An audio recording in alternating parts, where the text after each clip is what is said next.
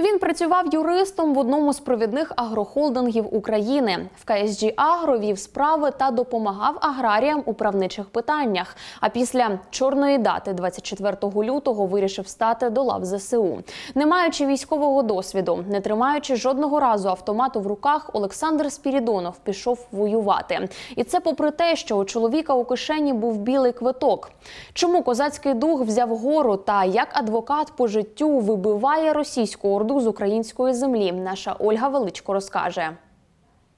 Ми зустрічаємось з ним у символічному місці на алеї героїв. Олександр, який у вас позивний?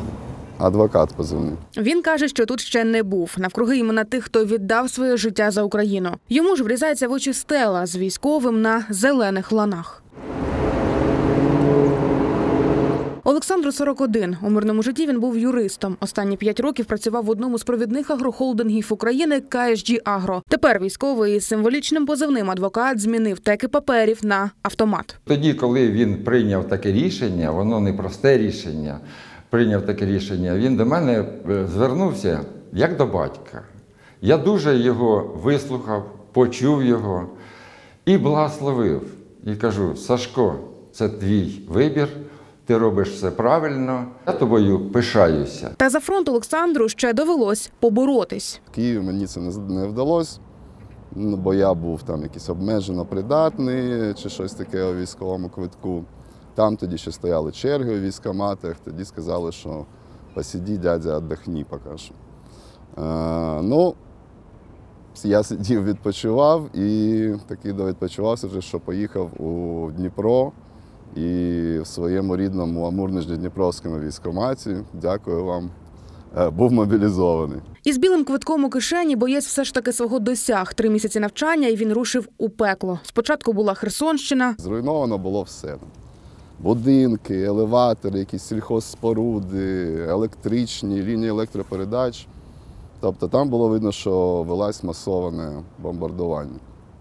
Ну, нам трохи повезло, бо ми коли туди зайшли, то противник вирішив відступати десь у цей час, і ми там звільняли село за селом доволі в легкому режимі. потім Бахмутський напрямок. Там Олександр отримав контузію. Що найчастіше прилітало да, від окупантів? Ну, я думаю, що міномети. Але ну, там велика кількість е, вибухів е, різних видів, що навіть ну, я, і, я і не знаю, що саме. Захисник за півроку дослужився до командира стрілецького відділення і зараз, будучи на лікарняному ліжку, рветься у бій. Та нормальні прогнози, йду на поправку. З агрохолдингу КСЖ Агро Україну боронить кожен десятий працівник. І попри те, що хлібороби мають бронь, вони пішли захищати рідну землю, як і Олександр. Фахівці такого рівня Міністерства аграрної політики вони підлягали бронюванню. У нього була і бронь, і е, по військовому е, він не підлягав призову. Але отой дух, отой козачий дух, отой войовничий дух, він пересилив усе. Після одужання Олександр знову на передову каже: найбільше мріє про прогулянку вже під мирним українським небом. Моє найбільше бажання, ну, щоб, щоб закінчилася ця хірня, мабуть, що твориться навколо. Ольга Величко, Сергій Язовських та Олег Родіонов. Open News, телеканал відкритий.